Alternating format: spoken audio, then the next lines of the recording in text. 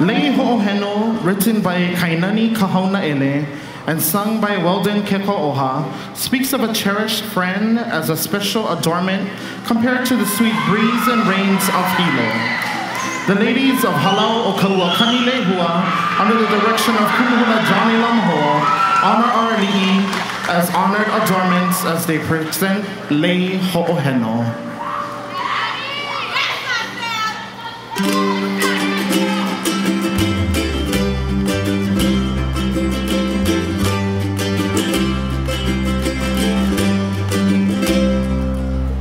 Lily,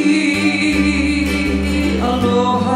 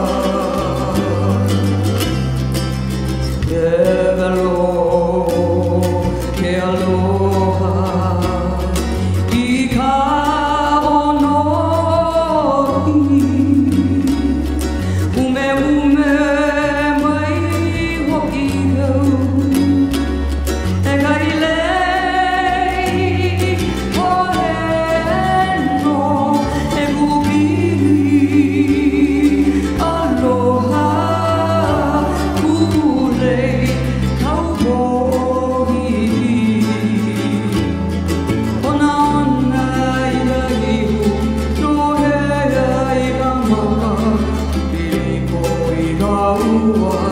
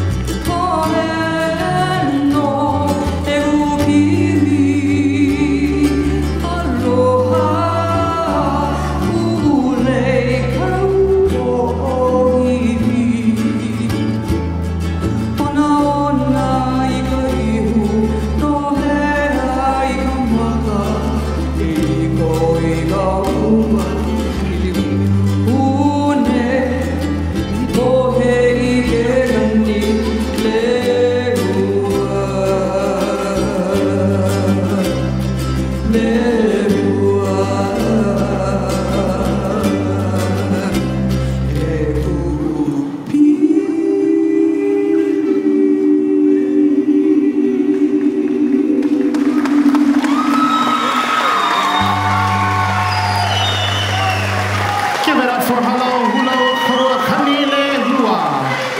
Hilo's own.